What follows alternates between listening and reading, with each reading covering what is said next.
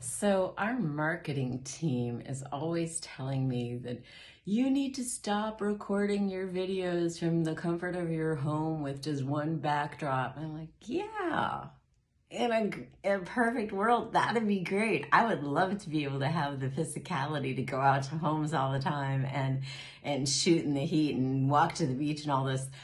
The truth is, I can't. Um, and I think that that's kind of a testament and a good thing for the people we we help because